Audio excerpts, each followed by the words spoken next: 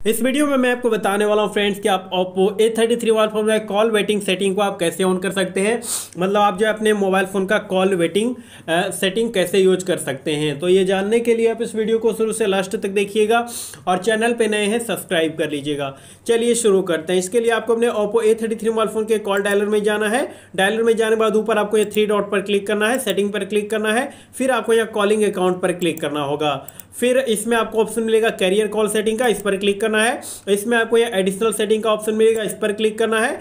फिर आपको अपने जिस भी सिम कार्ड का, जिस भी सिम कार्ड में कॉल कॉल वेटिंग ऑन करना है, उस सिम कार्ड को सिलेक्ट करेंगे और सिलेक्ट करने के बाद आपको यहाँ कॉल वेटिंग का ऑप्शन मिल जाएगा। अब देखिए आप यहाँ पर क्लिक करेंगे तो कॉल वेटिंग आपके फ़ोन में ऑन हो जाएगा और और ऑन हो जाने से क्या होता है? मैं ये आपको बता देता हूँ।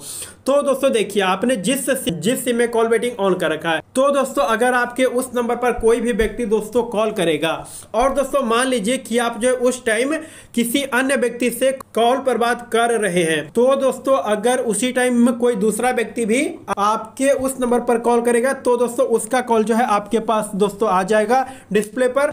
और फिर दोस्तों, आप चाहें तो पहले वाले कॉल को होल्ड पर रखकर आप उससे जो है बात कर सकते हैं। मतलब दोस्तों, कॉल वेटिंग को ऑन कर देने से ये होता है कि अगर आप दोस्तों कॉल पर बात कर भी रहे होंगे तो दोस्तों तो दोस्तों उसी टाइम अगर कोई दूसरा व्यक्ति भी आप, आपके नंबर पर कॉल कर देगा तो उसका कॉल जो है आपके पास दोस्तों आ जाएगा और आप जो है पहले वाले कॉल को होल्ड पर रखकर आप जो है उससे बात कर सकते हैं।